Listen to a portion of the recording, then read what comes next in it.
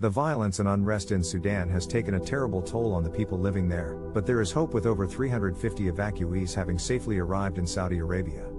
In this video, we hear incredible stories of daring courage and struggle as people flee Sudan to safety. The conflict in Sudan began on the 15th of April with opposition forces loyal to Abdel Fattah al-Burhan and his deputy Mohammed Hamdan Daglo, commonly known as Hemeti, clashing in an all-out battle for control. As the war wages on, an incredible number of casualties have been reported, with the United Nations agencies estimating over 400 deaths and 3,700 wounded in the conflict. It is amidst this violence, turmoil, and unrest that those who escaped have described the harrowing voyage out of the capital city of Khartoum.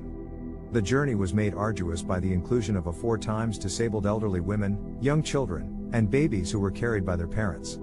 In total, nearly 200 people from more than 20 countries braved the formidable journey to safety.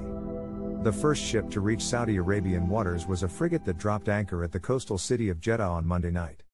Accounts from those on board recall a voyage that took up to 20 hours without any food, water, or rest. The United States were the first to make the daring rescue attempt, daringly entering Khartoum and spending less than an hour ferrying dozens of people to safety.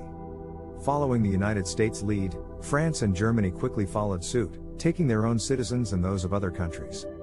The British military are still assessing how they can rescue their nationals from Sudan as critics blame them for missing a window of opportunity to evacuate more than diplomats and their family. The Saudi government has welcomed over 350 evacuees, 101 of them Saudis and the rest thousands of foreign nationals.